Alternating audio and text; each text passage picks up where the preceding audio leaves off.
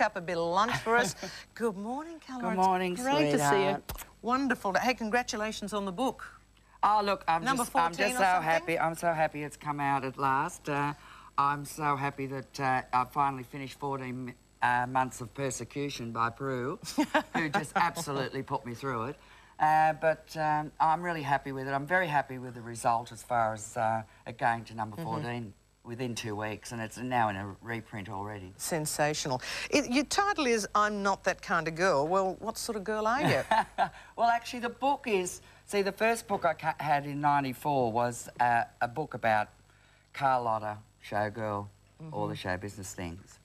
But what what I found with this book is that it's about three people. It's about Carlotta. She comes off stage. I really put her back in the closet. There's Carol Spencer, which is me, and uh, Richard in the past when I was um, a young boy before I got into all this. So it's um, it's stories about which I've never ever spoken about before. You know, the childhood, the um, How tough was the trauma childhood? with my stepfather. It was just um, it was very hard to do. what was the toughest thing about your childhood? I think the toughest thing about my childhood was probably, which I didn't realise, doing this book's been the best therapy for me because it's brought out things that I've had bottled up inside for so long. Um, my mother, you know, was just fantastic. You know, I, I, as I got older, I understood how hard it must have been for her during the war to have a child out of wedlock and um, still go to work and do what she did because, I mean, a lot of girls can't even cope with it today, but back No. then it would have been a lot harder. You're also cooking this morning, so let's have a chat. So what are you going to well, cook I'm for going us? to do. I'm going to do uh, like everyone likes my cooking, but what I do when because I'm really busy with my show at the moment because uh, I'm doing. Uh, Mm. Well, let's start, Carlotta. Carlotta's Priscilla. All right, you can. I believe you're good at this. I'm just Can you crack a couple of eggs for Can I crack there? a couple of eggs? Okay. Yeah, but I've got to fix my hair, darling, because I, I can't have long hair in the kitchen. Oh, okay. Well, that's I just that's gotta- health requirements. No health requirements, so I just get the gidget Okay, on two of these. for an old boiler, eh? Two of these. Yeah, two of those. Okay. Done. No, no, wait a minute. Pour some milk into it. Is this milk? Yeah, this yeah, just a milk. little bit of milk. Little bit. Say when. Woo! Oh, I'll put three eggs in there. yeah, three eggs in Beat there. Beat it up? Beat it up.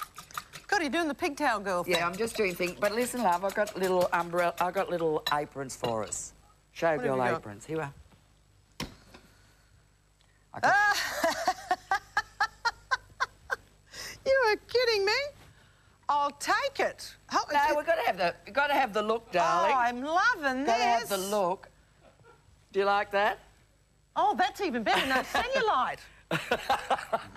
I, I love them because I mean that's what I'm what I see. 'cause loving this. I'm, I turned 60 the other week and I thought, oh, these are good for the kitchen, you Duh. know. I'm Someone new comes this. over, I can. Uh, I, ju- look, I can walk away. I'm feeling much better about myself.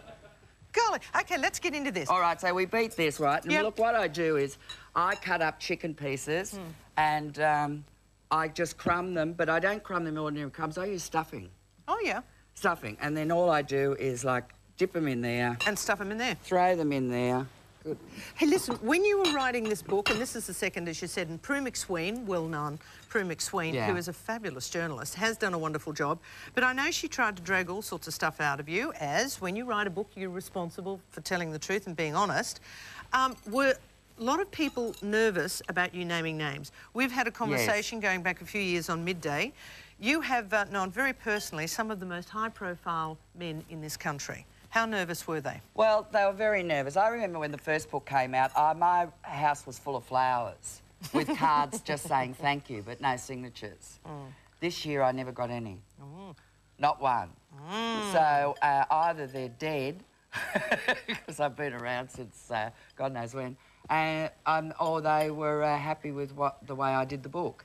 But, you know, we have such... Um, we can't do a Kitty Kelley book in Australia. Would you to want do it to? offshore. No, I really don't want to because I really think that you know what my um, Am I doing this all right, by the way? You're Come doing on, it you're fantastic. got to supervise here. They no, don't no, leave you're me alone in the fantastic. Right, I'll do the salad. Here. So, all these high-profile blokes, some years ago, were pretty nervous, but you didn't name the names. yes, I didn't Okay. name the names, but um, you've got to be. Um, look, I've got too many friends in show business, and Mm. I really didn't want to cross a lot of. How lonely? company, you know, I how wanna- lonely, and how tough has it been for you in your life with your unusual, natural, biological? Is that the right word? Circumstances. Yeah, well, it was tough earlier, uh, Mm-hmm. Kerry, but yeah, I mean, you know, I, you know, when I first started at Les Girls years ago, who'd have thought 30 years, 30 years on they'd be doing it on the football show?